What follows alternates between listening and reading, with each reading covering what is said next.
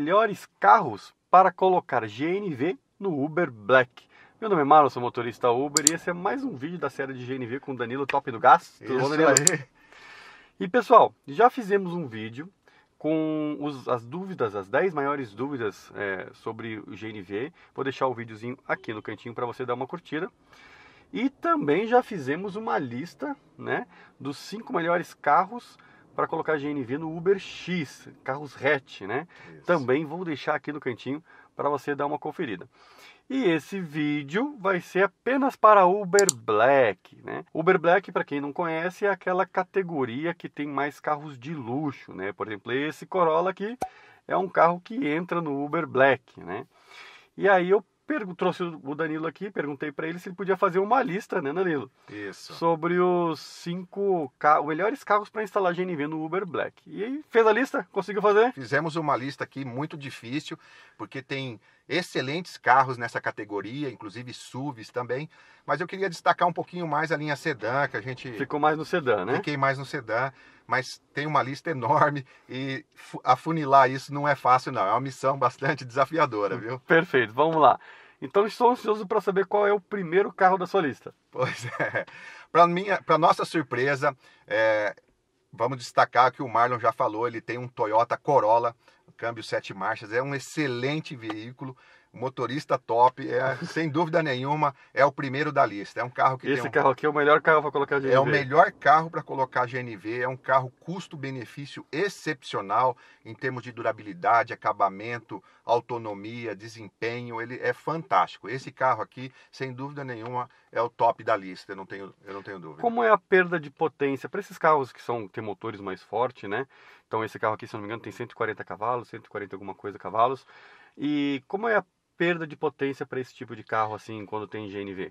Então, a gente não costuma generalizar essa perda de potência porque tem equipamentos que têm melhor desempenho e tem equipamentos que não. Certo. Tá? Equipamentos eu, de GNV. Isso. Eu procuro uhum. trabalhar com equipamento com que tem um desempenho melhor, com software mais rápido, um tempo de injeção mais rápido. Então a gente tem aí é, algo em, em torno de 5 a 10% de perda, mais ou menos. Né? Tem outros carros, dependendo da motorização, dá um pouquinho mais, mas geralmente é essa faixa em alta, né? Perfeito, então. E o segundo carro da lista, qual é? Pois é, o segundo carro da lista entra também esses carros japoneses, que é o Civic. Ah, o Civic né? é um excelente... Famosa dupla Corolla Civic. Exatamente. Existe uma disputa muito grande, embora o Civic mais novo aí tenha um porta-mala mais avantajado em Tem, relação ao Corolla, Corolla, né? Uhum. Então, o que é muito legal para você colocar o cilindro e ainda ter um porta-mala aí Ele é sobrando. É fundo, bem fundo, é. né, o porta-mala E além de ser Civic. um carro esportivo, né, um carro uhum a gente vê assim que o Civic tem um, um puxa um pouquinho para o lado esportivo, o Corolla tem um, um, lado mais conservador, né? Isso, normalmente sim. Mas são dois carros top que tem uma, uma mecânica top também. Dificilmente vai ter problema nesses carros e fica excelente no gás. É um carro sensacional se você está querendo comprar esse carro. Perfeito. Terceiro carro da lista qual é? Terceiro carro da lista, nós entramos no Sentra. Sentra Olha, Sentra, é um é. carro bastante procurado para quem quer ser Uber Black. Isso, e é um carro fantástico, responde muito bem no gás. Certo. Nós já fizemos inúmeros centros e nós temos resultados aí até. É, eu tenho um cliente lá na cidade de Ponta Grossa que teve um resultado a mais de 20 km com um metro cúbico do gás. Nossa, que legal. Para um carro 2.0 é excelente, excepcional. Obviamente, tudo tem uma questão do jeito de andar, né, e uhum. tudo mais, mas é um carro que responde muito bem no GNV e você que vai no Uber Black aí pode ter certeza que você está bem vai servido. Tem uma boa economia. É, e aquele modelo novo lá ainda vem com teto solar, nossa, é fantástico, é um carro top. Perfeito. Tá gostando do vídeo?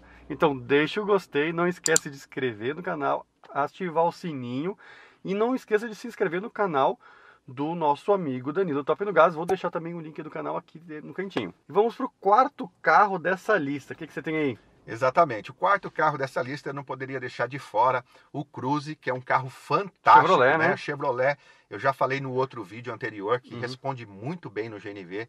E o Cruze é um carro bonito, carro esportivo, um carro lindão. Muita gente tem esse carro, né? Uhum. É um carro que tem um consumo um pouquinho mais elevado, porém no GNV você vai ter uma boa economia, né? E lembrando que alguns estados, como Paraná e Rio de Janeiro, ainda tem um desconto do IPVA que é um reforço a mais na economia aí desses carros sedã, né?